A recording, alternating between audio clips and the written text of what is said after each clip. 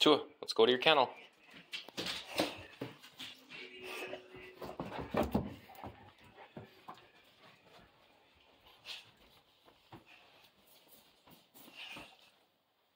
Good boy.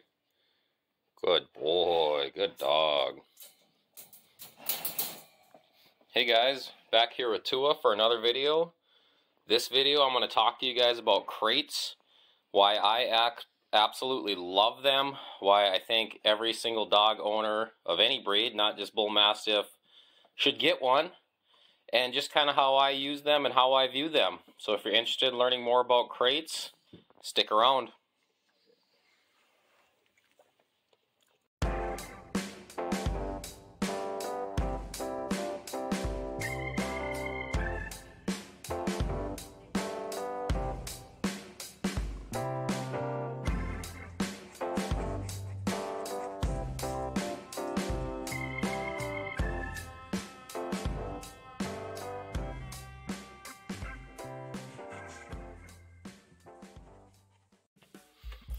Okay guys, so we actually had to upgrade Tua's crate uh, just a couple of weeks ago.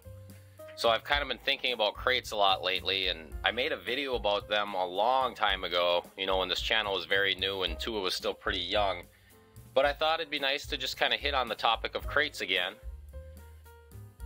The last one we had, we had for almost 10 years. It was uh, our previous dogs, who was a Doberman Pinscher, and we used that one for Tua as well, and he kind of just simply outgrew it.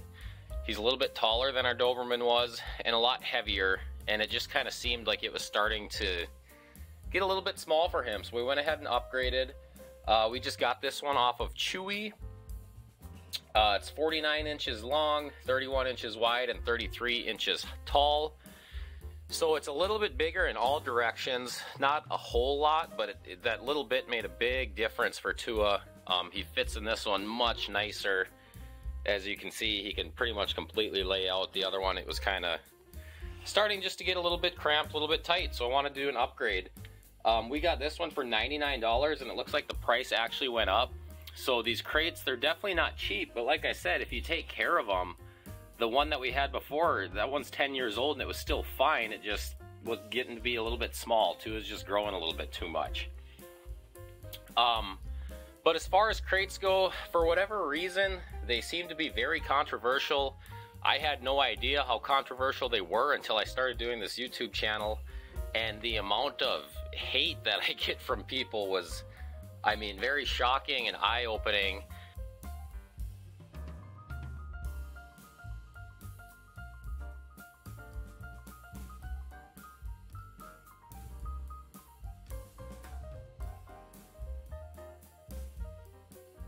I mean, people act like this is dog abuse to put your dog in here. And uh, as you can see, he was very excited to go in there. We make the crate in a very nice and positive place. As you can see, he's completely cool now. The only way that I could even consider this um, dog abuse is if you just let your dog in there all day, every day, pooping on themselves, peeing on themselves. And uh, I suppose some terrible people do, but if you're using the crate properly, this is just a normal part of dog ownership and a responsible part of dog ownership, at least in my opinion. I mean, I just don't really see how you can get away without having a crate, especially when the dog's young, because, I mean, unless you're home 24 7, you're going to have to leave the house at some point, and if this dog isn't potty trained or anything yet, and he's still teething and wanting to chew on everything, how are you going to let that dog just run around your house uh, and not have any issues. And, and that's a big reason for using a crate is when they're young. If you don't want to use a crate, then don't. But, uh, I mean, the amount of people that just go crazy over crates and the accusations that get thrown out because I use crates is not just me. I mean, all kinds of people that just absolutely take your head off for using a crate when it's a perfectly normal and responsible part of being a dog owner. They just make life so much easier for you and the dog, especially at a young age with potty training, um, when they're chewing on stuff in the house. I just, I can't believe that people don't take advantage of using crates and all the benefits that they have.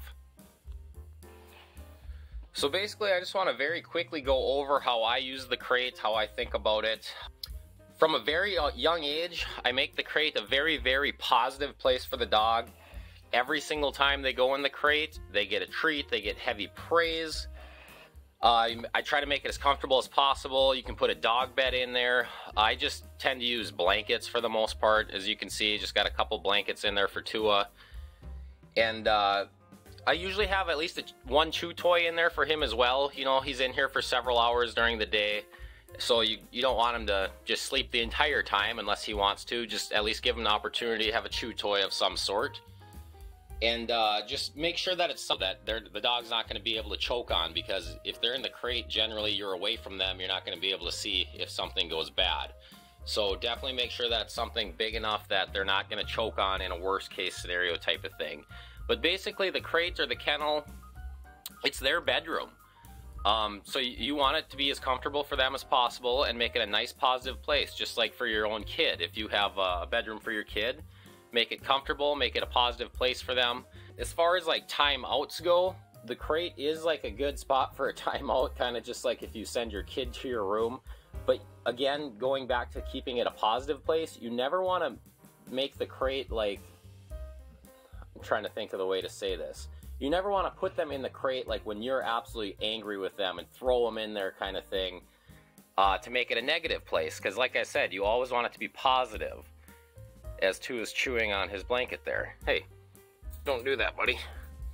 Um, so even if like, especially during the puppy times, like Tua not so much anymore. We don't really get frustrated with him too often. But when he's a puppy, there's times when he's chewing on stuff or being wild, and you just need a break. And that's what's great with the crate give him a chew toy, give him a treat, put him in their crate for a little bit if you need a break and kind of give them a little time out. But when you're doing this, make it positive. Put them in there, tell them good boy, good girl, heavy praise, give them their treat, give them their chew toy, and then you can take a second to go uh, just get a break from the dog. And that's just one reason why they're so great. Um, one of the biggest reasons I feel that you need a crate is with potty training. I have crate trained a dog since I was probably eight, nine years old. To me, it's the best and only way to potty train a dog by putting them in the crate. Uh, if they haven't gone to the bathroom, they go in there for, you know, like a 15 minute increment, get them outside. If they go potty, then they can have some free play.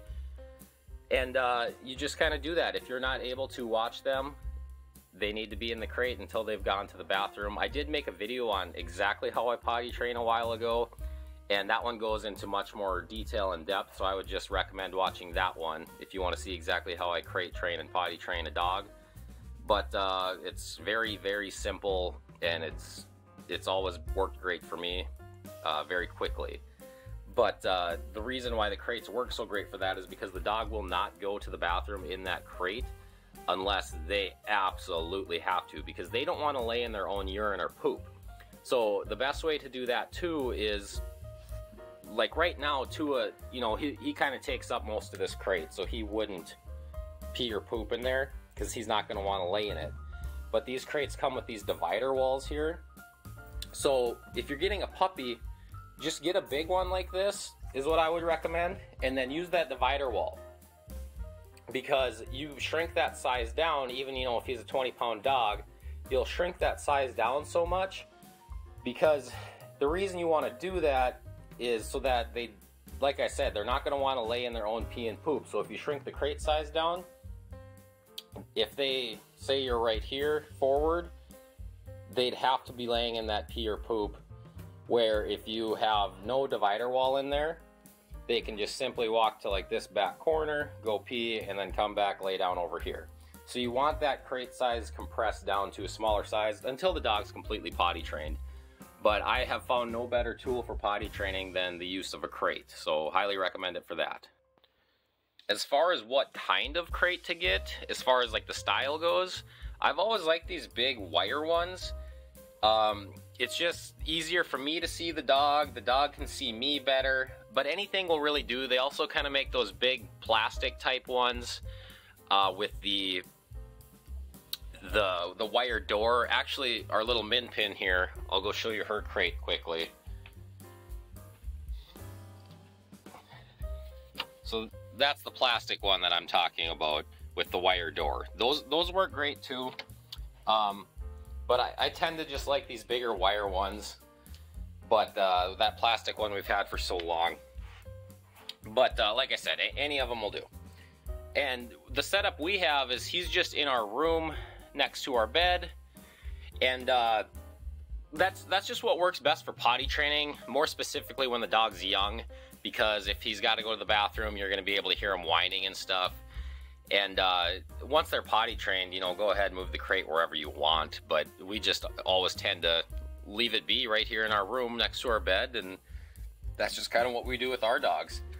But uh, the ultimate goal of these crates is just to have a nice, nice, safe place for the dog where he can be alone, uh, where he's not going to ruin anything in your house, and he can't hurt himself either. Nice, comfortable place, and uh, after a year or two, you might not even need the crate anymore.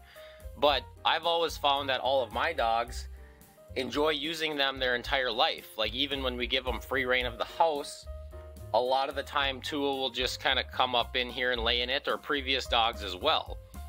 Like I said, it just kind of becomes their nice little safe, comfortable place, like their bedroom, if you for your kid. Uh, and as you can see, he doesn't mind it at all. Like I said, he'll just go in there, hang out when the door's open sometimes. So definitely not a negative thing at all. I, I'm not really too sure where all the hate came from. Um, with crates, I, like I said, I mean, I guess you could use it as some form of abuse for the dog, but it, when you're using it properly in the way they're intended, crates are a great, great tool for any dog owner. I can't recommend them enough. Uh, remember, if you can put your kid in a crib, you can put your dog in a crate. It's essentially the same thing. And like I said, I've been crate training my dogs for basically my entire life. I've never had an issue with them. Uh, very experienced as far as crate training goes. Ask me any questions down there in the comments section. Um, give me hate if you'd like as well. I, I guess I don't really care. Um, and if you don't want to use a crate, then don't use a crate. I, I'm a big advocate for you doing whatever you want to do with your dog as long as you're not hurting the dog. And, uh, you know, but it, it's going to make your life easier. Just do some research and look into crates and uh, I would really encourage you to get one and use it the right way. And I just think it makes for a better life for, for not only you, but the dog as well. Um, thanks for watching, guys. Uh, really do appreciate it. Again, if you have any questions, let me know. And as always, take care.